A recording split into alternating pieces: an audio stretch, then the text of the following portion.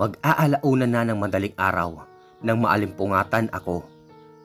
Nakaramdam ako ng sobrang banas ng pakiramdam. Kahit number 3 na ang electric fan, kakaiba ang gabing iyon. Animoy nasa katanghali ang tapat ang init sa pakiramdam ko.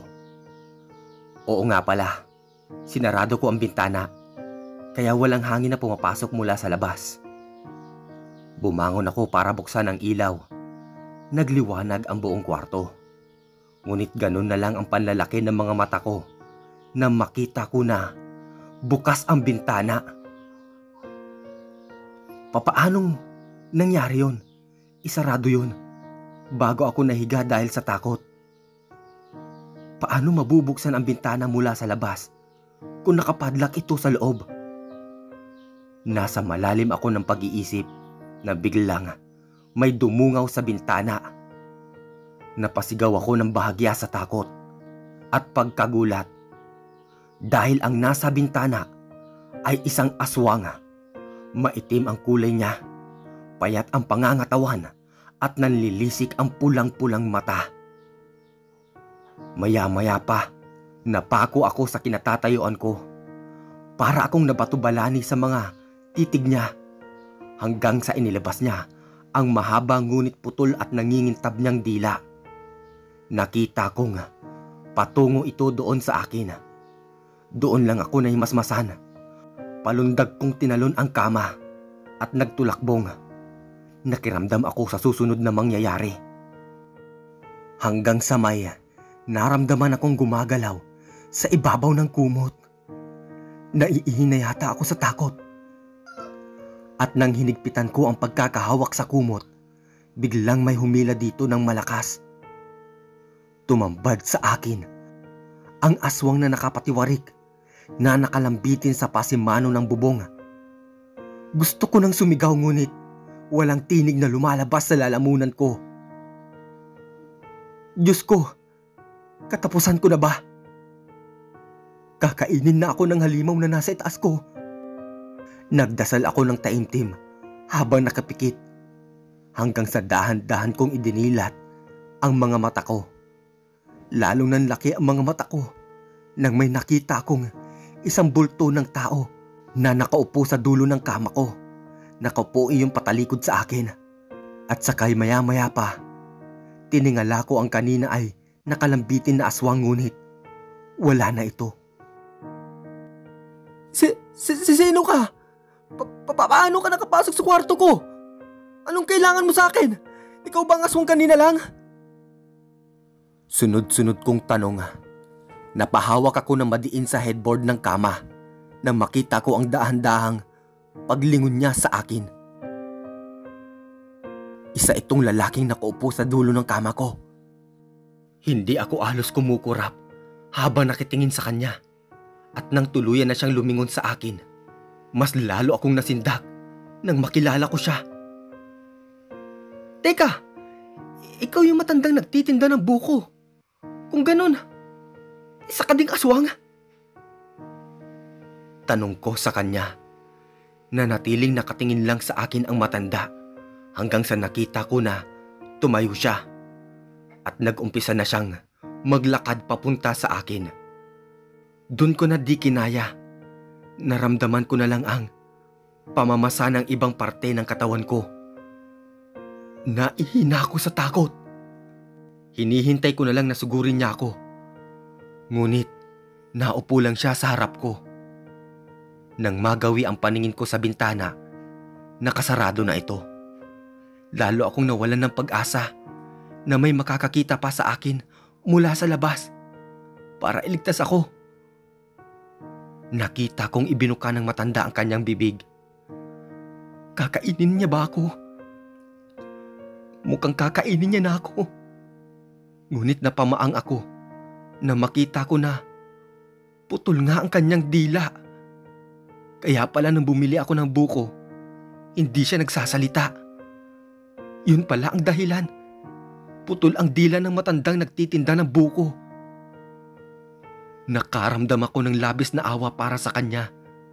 Hanggang sa nag-sign language siya. Base sa pagkakaunawa ko sa ibig niyang ipahiwatig, ay biktima lang din siya.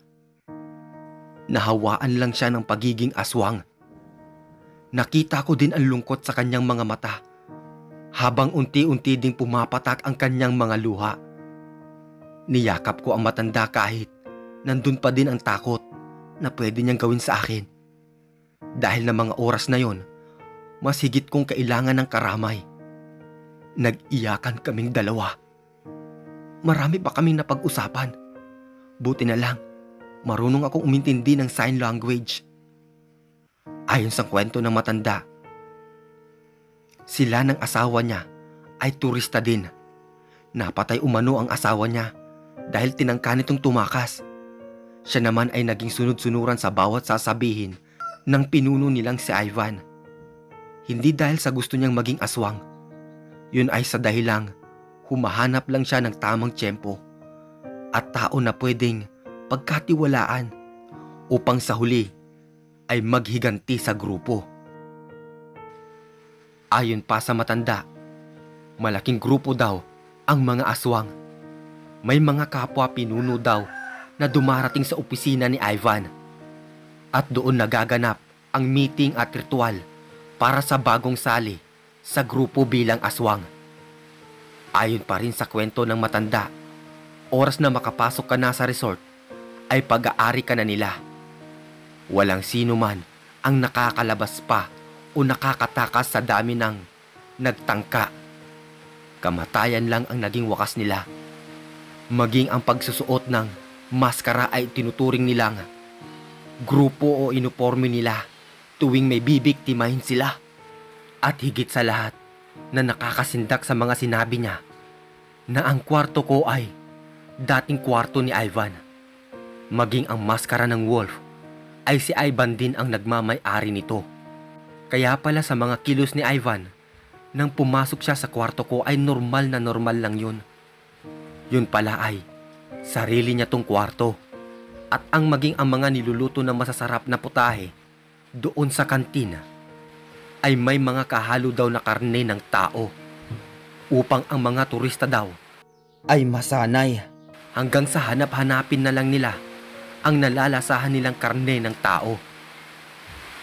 Mula nang marinig ko yon, ipinangako ko sa aking sarili na hinding hindi na ako kakain ng kahit anong uri ng karne sa kantin nila. Ilang oras at minuto pa ang nakalipas. Mag-aalas tres na ng madaling araw na magpaalam sa akin ang matanda. Kailangan na niyang bumalik sa kanyang kwarto.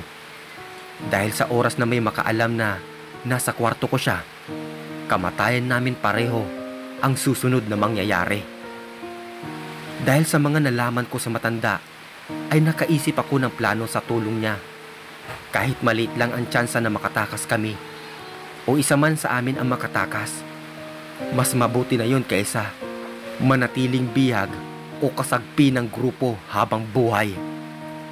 Lumipas pa ang ilang araw, naging parang normal naman ang takbo ng buhay ko doon sa resort. Ako syempre, walang tigil sa kakaisip kung papaano makatakas sa kamay ng mga aswang. Naglilibot ako sa resort na parang normal lang. Pero ang totoo, naghahanap ako ng paraan kung papaano makatakas. Naalala ko si Harold. Tiyak na nag-aalala na yun sa akin dahil hindi ako nakokontak. Maging ang mga magulang ko ay siguradong hinahanap na ako. One week lang ang hiningi kong bakasyon sa opisina. Gusto ko lang maglibang dulot ng paghihiwalay namin na matagal ko ng kasintahan na si April. Oo, si April ang dahilan kung bakit ako napunta sa empyernong lugar na ito. Niloko niya ako ng ilang taon. Pinaniwala niya ako na dalaga siya. Yun pala, hiwalay lang siya. Pero kasal sa tunay na asawa. Hanggang sa gabi-gabi na akong naglalasing. Lagi akong late pumasok sa opisina. At lagi pang amoy alak. Kaya naman, kinausap ako ng kaopisina at kaibigan kong si Harold na magpahinga muna at magbakasyon. Tapos, heto ako ngayon. Na mas malala pala ang mararanasan ko na maaari ko ding maging katapusan kapag hindi ako nag-ingat sa grupo ni Ivan. Nasa loob ako ng kwarto nang biglang napatingin ako sa pintuan dahil may biglang kumatok. Tumayo ako at sinilip sa bintana. Mag-aalas 4 na ng hapon noon. Nakita ko ang isa sa tauhan ni Ivan. May dala itong bandihado. Oh, pinadala sa'yo ni Boss Ivan. Ilang araw ko na daw na hindi kumakain. Kailangan abutin mo daw yan. Wika pa nito bago umalis. Umuusok na kanin at kaldereta na may kasama pang prutas ang nasa harapan ko ng mga oras ngayon. Ngunit kahit anong gutom na nararamdaman ko, di ko man lang tinikman ang pagkain na yun. Tumingin ako sa salamin sa banyo. Napansin ko ang pangangayayat ko. Dalawang linggong mahigit na nga pala akong walang kain ng maayos. Bihira kasing magtinda ng tinapay o kahit biskwit-skwit man lang sa kantina. Sinadya siguro upang mapilitang kumain ang mga bisita sa resort. Hanggang sa bigla kong naalala ang kwintas na napulot ko sa ilalim ng kama. Hinanap ko yun at tinignan. Sino kaya ang kawawang babae na nagmamay-ari nito? Wika ko sa aking isipan. Nilaro-laro ko sa mga palad ko ang pendant hanggang sa may napansin ako sa hugis puso nitong pendant. Nabubuksan pala ang pendant ng kwintas. Nanginginig ang mga kamay ko nga. Pinaghiwalay ang magkabiak na hugis pusong pendant. Napatulala ako nang makita ko na may dalawang maliliit na larawan. Larawan ng isang babae at lalaki. Tinignan kong mabuti. Medyo maliit ang litrato. Kaya kinakailangan ko pang lumabas para makita ng mas malinaw. Para akong binuhusan ng malamig na tubig na puno ng yelo nang makilala ko ang mga nasa litrato. Sina Harold at April ang nasa pendant. Pa- Paano nangyari to? Ba- ba- bakit sila bakit sila nasa kwintas? Anong ibig sabihin nito? Lalong naging magulo ang takbo ng isip ko. Magkakilala silang dalawa. Magkaano-ano sila? Tanging namuong tanong sa aking isipan.